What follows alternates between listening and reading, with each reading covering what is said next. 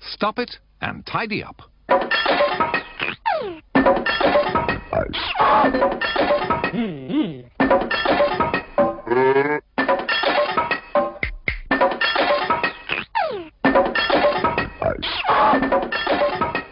And here's all their friends. Comb your hair, wash your face, and hurry up. Go and play his favorite toy. And poor little, calm down. A nasty little not now. The two bees behave and be quiet. Sleepy old, go to bed. And don't do that. Take care. Eat your greens. Clean your teeth. And the big, bad, I said no. Today, we meet Go to Bed. It's another fine day in the land of do as you're told. Tidy Up was feeling very pleased with himself today. He'd managed to grow an enormous flower. Isn't that nice? That was a funny noise. Who did that? Go to bed. Fast asleep in Tidy Up's flower. Now, Tidy Up didn't like that much, so he told Go to Bed to go and find somewhere else to sleep. So, poor old Go to Bed wandered off. And Tidy Up continued to water his flower, which was getting bigger all the time. Oh, Tidy Up's a clever chap, isn't he?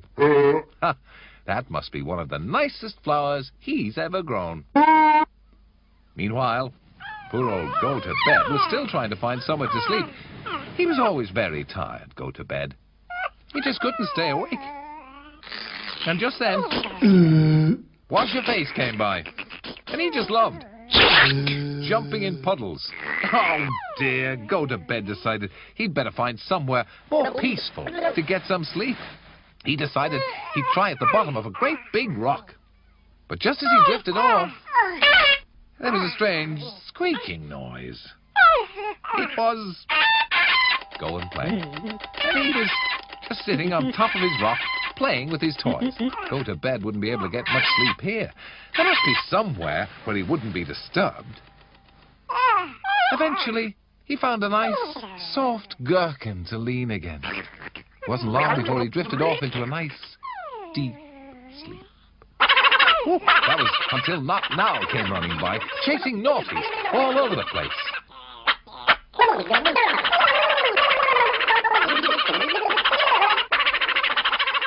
Oh dear. Poor old Go to Bed.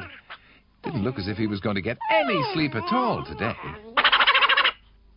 Tidy Up still wouldn't let Go to Bed sleep in his flower. So Go to Bed wandered off to the dump to see if he could get some peace and quiet over there. Stop It popped out. As usual, he wanted to know what was going on. Go to Bed tried to doze off by an old television set. But then he leant on the button, and the television came on.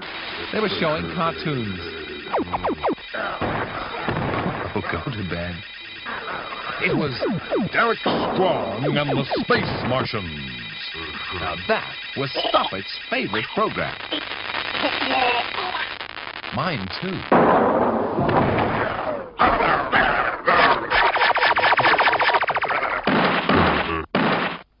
There was so much noise that Go to Bed stood no chance of getting to sleep at all.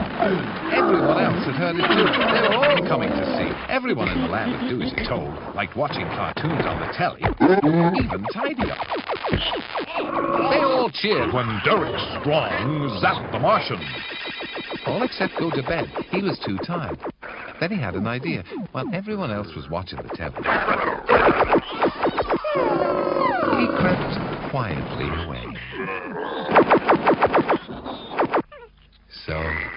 He did manage to get to sleep and Tidy Up's flower after all. And the flower was now so tall that when Tidy Up came back from watching the television, he wouldn't even know that Go to Bed was up there, fast asleep.